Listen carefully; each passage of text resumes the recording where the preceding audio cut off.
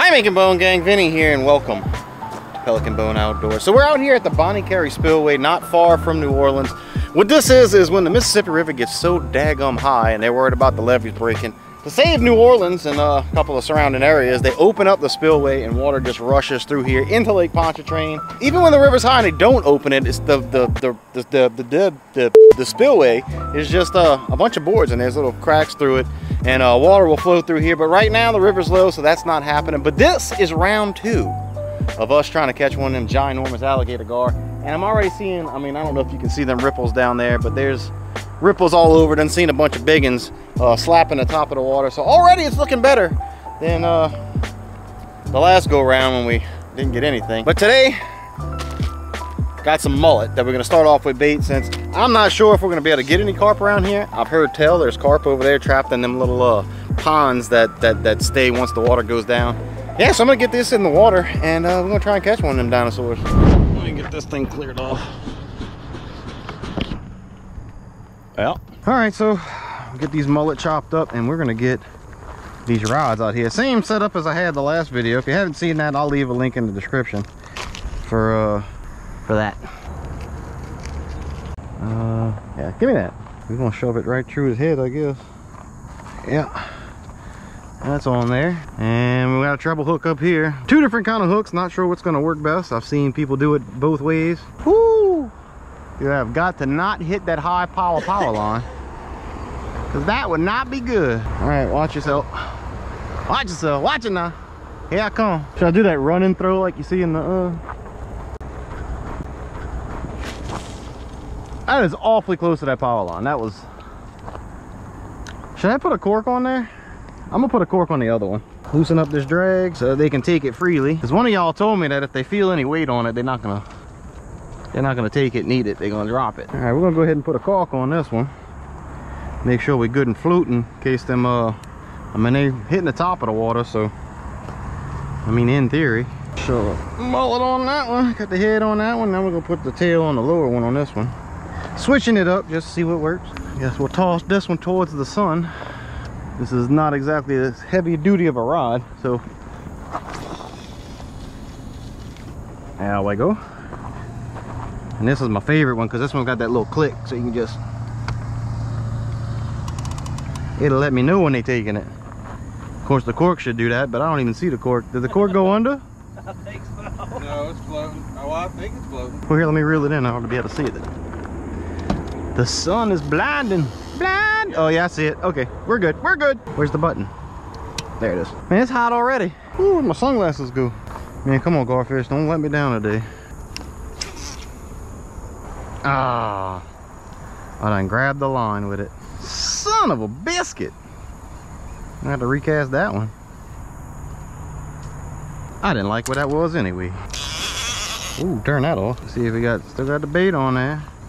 Oh Lord, oh Lord, we all tangled up. Oh my, oh my word, look at the heck is going on here. Holy Jesus. Uh, what a predicament. Dang. I don't think I'm getting that out. Might have to just cut and start over. All right, here we go. Got it all rigged back up. And here she goes. Oh, I forgot the cork. Thank you, dear Dean. All right, let's try that again. This time with feeling. Oh yeah, oh yeah. That's the stuff. It's so hot. So as I said in the last video and the last five videos, still hot. I think we're on day four or five with three digit temperatures. Still not used to it. So I'm not 100% sure that uh garfish like uh, mullet. Do you know if they like mullet? I have no idea. I know cut bait is what you use. Well, it's cut mullet, Yeah. so it's cut Bait. bait. So anyway, but I'm pretty sure, pretty sure they uh like perch, even though I haven't asked them. And I don't have any worms, so I'm gonna go ahead and break off one of these little sac-a-lait baits. Just a little, little skirt, little, little dangle thing right there. Cause they got some bluegill over here, and I'm fairly certain we can get one to bite if uh if they're aggressive enough. And no. Frank, we need some worms, Frank. Oh, they're looking at it. You know, I have a cast net, but I don't think it's legal to take perch in a cast net. Not sure. Well, we're not gonna chance to test that theory today. Oh, oh, oh, we got something going. We got something moving. Just let him take it. Just let him take it. Oh, it's not, okay. I might take the click off so you don't feel nothing. Oh yeah, baby, it's moving. It's moving. We're gonna let him take it. Take what you want. Take what you want. There you go. Just take it. Take it. Take it where you want it, baby. Just don't take too much, because uh, I ain't got a ton of line on there. Uh-oh, he stopped moving.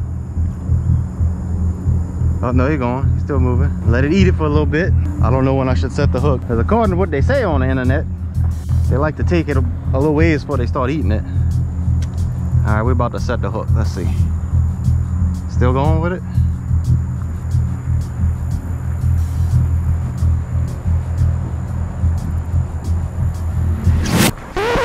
Oh, I don't think there's nothing on there now. Oh, come on. Ah. well, at least that was some excitement. Oh man, we got a little tanglage going on here. I don't know, I don't even see any teeth marks in there.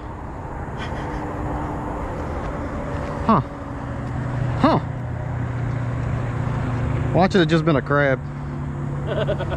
kind of like sighted a little crab swimming off with it. All right, well, ain't nothing to do but get it on back out there. See if we can Bob Dean in the head with it. Boom. How's the water feel? Ah, I got the daggum line again. what an idiot. All right, let's see if I can uh, not make this all jumbled up this time. Man, what a couillon. Oh, and then it's a whopper plopper, so it's all wrapped around a hundred times. Boy, look at that. That perch is aggressive, dude. He's chasing the he's chasing the whopper plopper. He ain't even as big as the whopper plopper. Oh, I got beef jerky. I wanted to eat beef jerky. Well, let's see. I got a little piece of sausage from Frank's uh Frank's gas station pizza. So we're gonna see if we can't catch a perch up in here. Bloop. See if they'll eat that. And nothing. Oh, there we go. We got bluegill biting. He's trying, he's picking at it. Come on, eat it. Eat it. Oh, oh, he stole it. You little sucker. Oh, wait, do we have something? No. Oh, yep. I think one's moving. One's moving. Come down to grab it, you gotta One's moving. One's moving. Which one? I don't know yet. It's the one with the cork. It's the red, yeah. Do you see the cork anymore? No. All right, we moving now. We moving. You taking it, baby. You do what you gotta do. You do what you gotta do. Still taking it.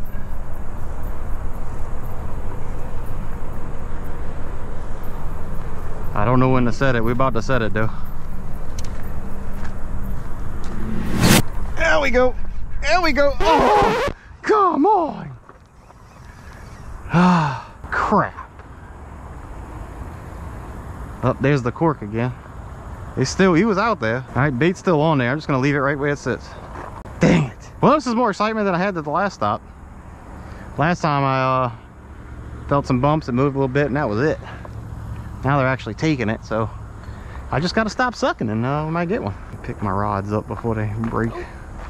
Yes! Look at me, look at Frank. Look at Frank. You the man, Frank? Oh, that's a pretty one too. I'm gonna hate to use you as bait. That's one of them long ear sunfish. Look how pretty they are. yeah. Now, The first time I caught one, I didn't know what it was. I thought it was a cichlid. sorry for you, buddy. You're uh, you're you're about to be bait. You want me to reel that in for you? Yeah, here, reel this in for me. Hold on, I might have another one. Oh, I'm coming, I'm coming, I'm coming. Nope, too late. Oh, oh, Too late catching it. Oh no, he's about to release himself. Get over here. Maybe I should put a cork on this one too, because that one's getting bit twice. This one hasn't gotten bit. Might even catch a goujon with this live perch. Be nice.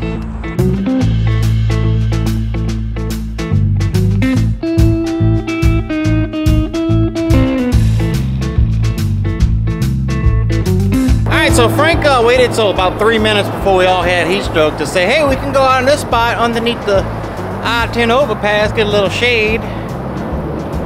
It's gonna be a little noisy though, but uh, you know, we're gonna make it work. But I already seen a carp right there where we're gonna be fishing, so that's a good sign. Might be able to get a carp and then get the garfish like we've been trying to do for so long now.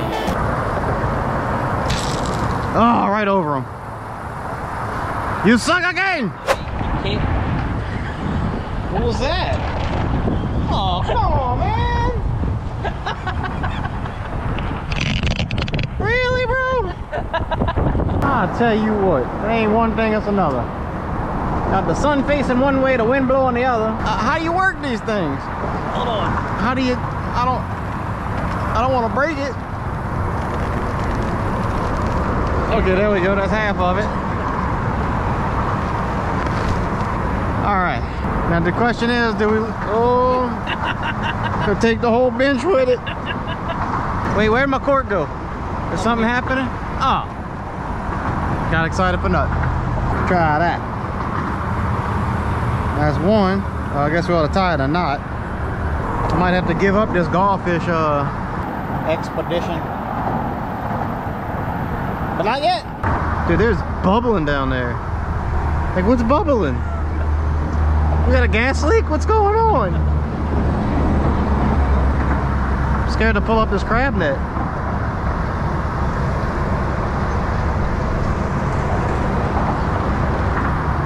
Ain't nothing on the crab net, but it's still bubbling. I mean, it's steady bubbling. I don't think it's us. Oh, it stopped. Nope, there it goes. I don't think you should light a match. Ain't no telling what that was. Watch something grab it and just take it out my hand. Uh oh, wait, the cork's under. Right underneath the surface still. It's moving, hold this. Oh, where'd it go? Oh, I see it's still right under the surface. I don't know if I should set the hook or not. Oh, I came up. See if there's anything on it still. Nope, they got it all. Dang it. Waited too long. Well, that makes me feel a little better. At least something's chewing on something. All right, buddy. There's more where that came from. Come and get it.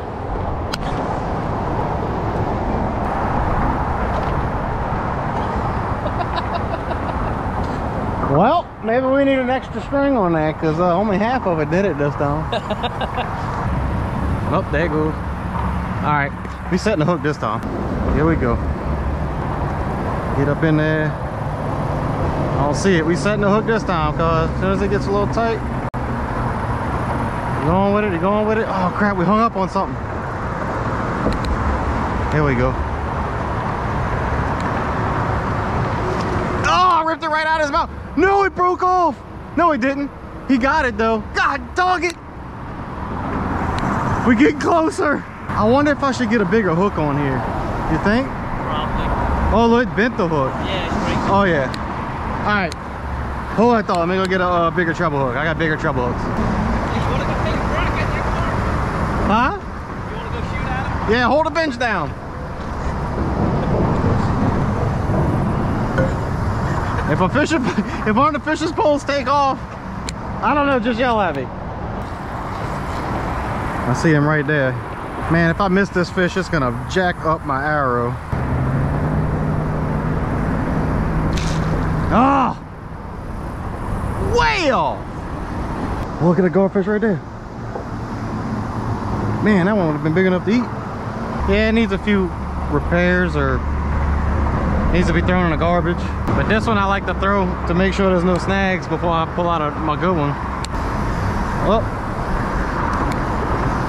yeah, that's it for this cast net.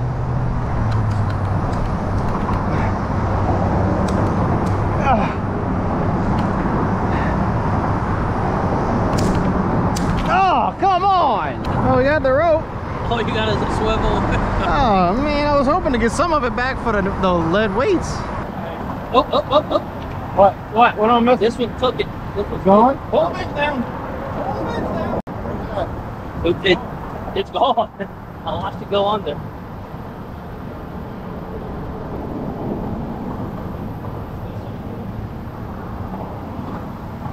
Oh, we on! We on! It's we on, on. baby! No, no! What? Am I hooked? oh yeah, hang on.